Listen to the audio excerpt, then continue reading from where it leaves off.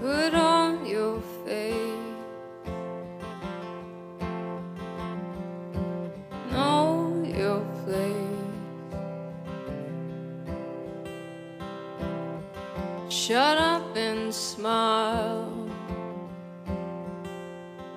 Don't spread your lips. We are marching to end violence against women.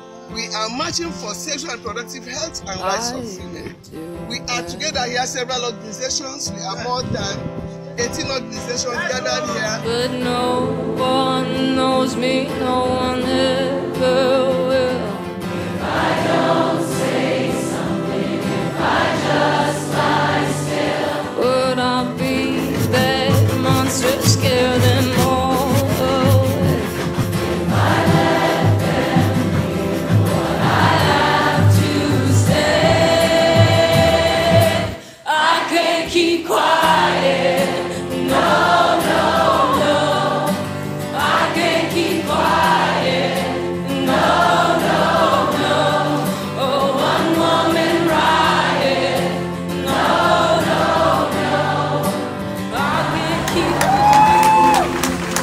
go to these meetings, I write these letters, I do these interviews for advocacy, and it is so, so hard to keep an olive branch in the palm of your hand when you need your keys between your fingers.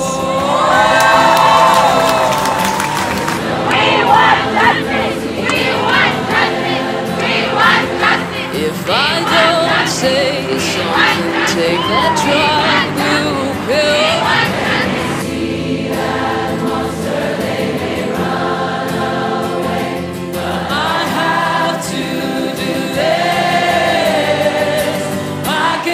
Quase.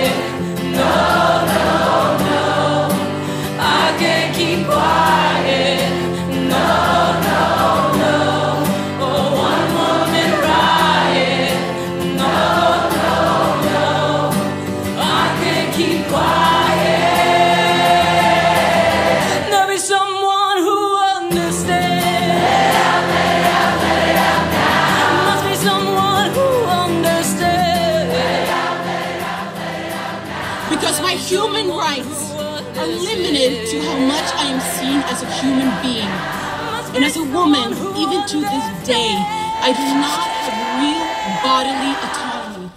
Instead, there are laws put out in place to ensure that I cannot decide for myself what happens to my own body.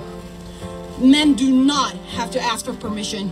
Men do not have a committee that will decide what they can and cannot do with their bodies.